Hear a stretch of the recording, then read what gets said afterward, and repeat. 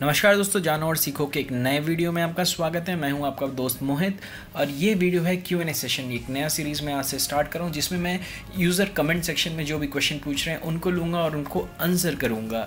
लेकिन अगर आप इस चैनल को पहली बार देख रहे हैं तो ज़रूर उसको सब्सक्राइब कीजिए और एक बहुत ही बड़ा थैंक्स आपको इतना प्यार देने का। हमें, हमने ऑलरेडी टू मंथ्स में almost thirteen thousand five hundred subscribers cross कर लिए आपके इतने मैसेजेस मिले इतने लोगों से मैं कनेक्ट हुआ और इतने लोगों से क्वेश्चंस आंसर्स पूछे और बताया, उनके बातें शेयर की और उनको ट्रेडिंग पे राय दी।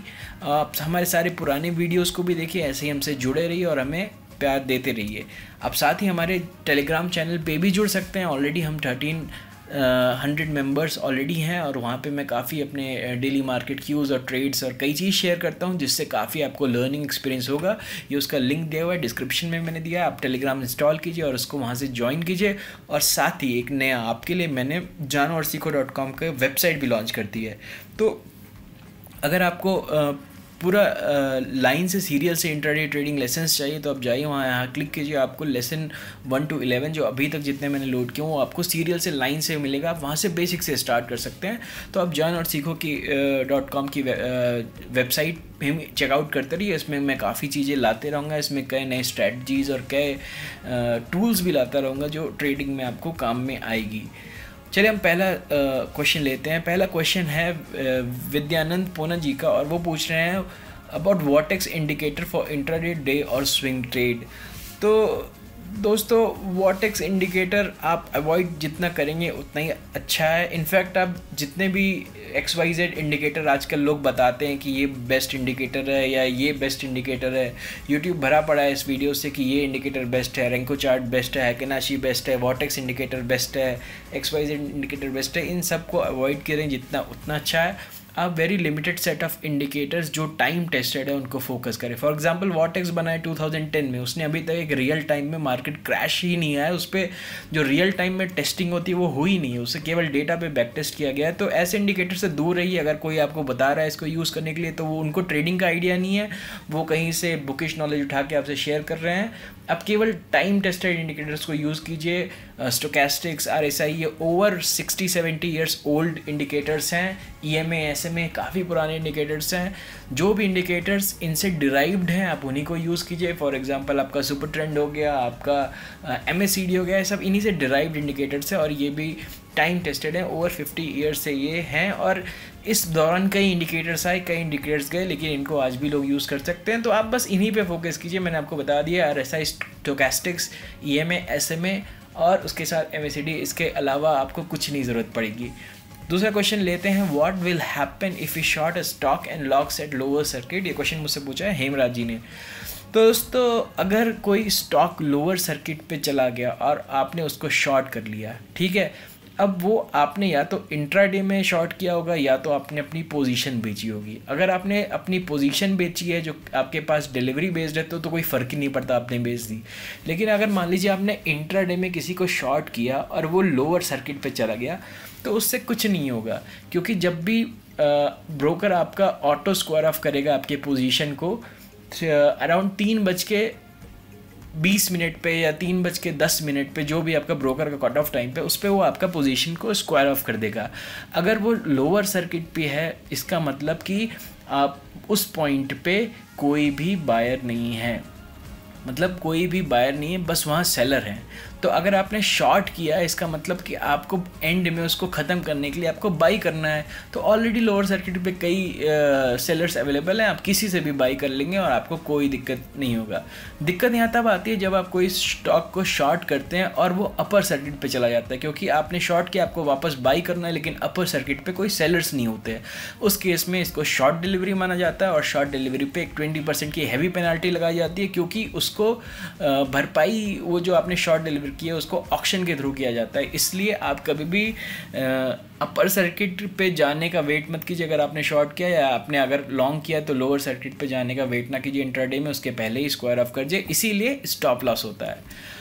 तो नेक्स्ट तीन क्वेश्चन जो है, वो काफ़ी रिलेटेड है। इसलिए मैंने इनको एक साथ लिया है। तो पहला क्वेश्चन है, सर डे ट्रेडिंग में सपोर्ट और रेजिस्टेंस कैसे लगाते हैं?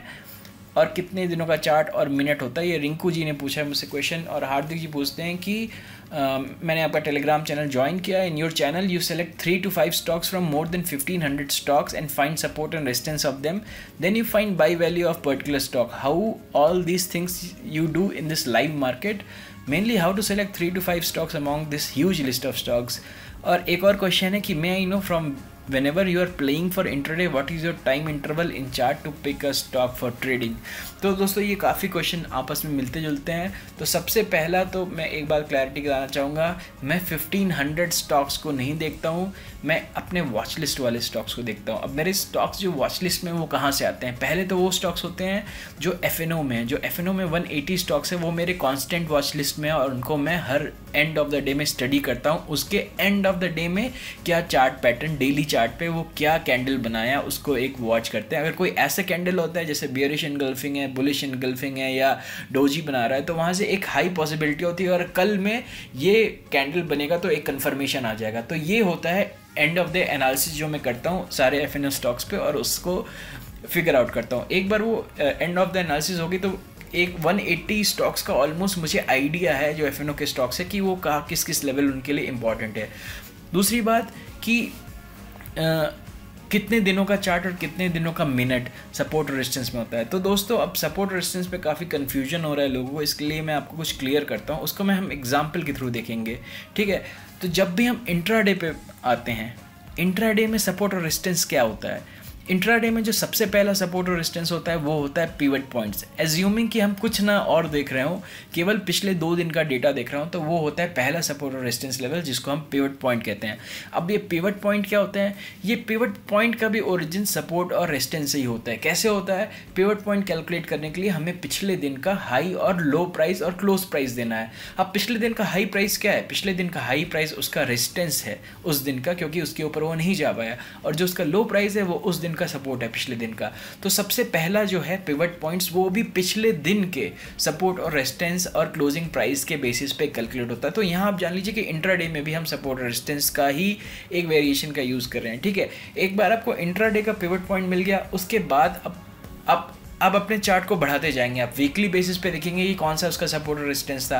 अब मंथली पे फिर जाएँगे और फिर आप ईयरली पे जाएँगे। और जैसे जैसे आपको मल्टीपल टाइम फ्रेम में चार्ट पे सेम सपोर्ट और रेजिस्टेंस मिलते जाएगा। मतलब कि अगर कोई पॉइंट उसका वीकली भी रेजिस्टेंस बन गया है और उसका मंथली भी था और उसका ईयरली भी था तो वो उतना ही स्ट्रॉन्ग रेजिस्टेंस जोन होता है और जैसे उसको क्रॉस करेगा, वो एक अच्छी बाइंग आएगी वहाँ पे।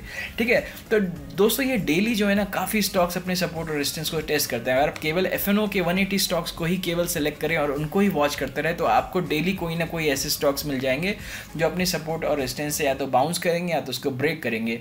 और यहाँ पे सबसे बड़ा आपका फ़ायदा क्या है कि अगर आपके पास fix set of 180 stocks F के हैं, वहाँ पे आप कभी सपोर्ट और रेजिस्टेंस पे अपना ट्रेड लेते हैं तो सबसे बड़ा आपका एडवांटेज क्या है कि यहाँ पे आपका risk to reward very favourable हो जाता है। क्योंकि हमें दोस्तों ये आइडिया है कि अगर वो अपने सपोर्ट को ब्रेक किया तो वो काफ़ी नीचे जाएगा। इसलिए हमें सपोर्ट पे एक मिनिमम स्टॉप लॉस लगाना रहता है और मैक्सिमम रिवार्ड की हम एक्सपेक्टेशन कर सकते हैं। और ऐसे ही रेसिस्टेंस पे हम एक मिनिमम स्टॉप लॉस लगाते हैं और मैक्सिमम रिवर्सल का चांस और उसके जो रिवर्स होगा, उससे जो हमें फ़ायदा होगा, उसको हम कर सकते हैं। चलिए इसको एग्ज़ाम्पल के थ्रू देखते हैं।